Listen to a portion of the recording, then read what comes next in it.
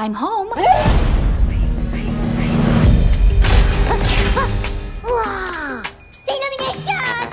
Hey, Maxie, let's say we go for a walk. Ah, I gotta admit, this is nice. I don't want to go to the vet! The vet? No! No, Let's no, go, no. buddy. You tricked me!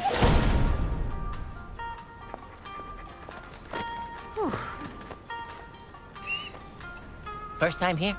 Uh, yeah?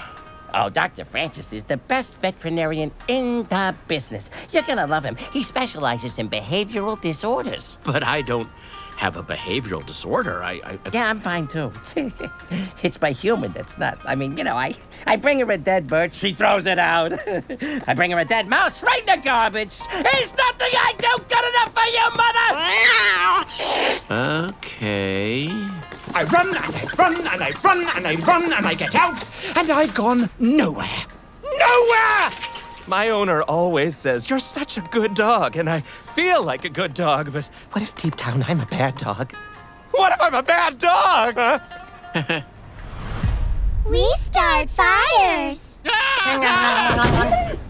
That was weird. Oh, sister, it's gonna get way weirder.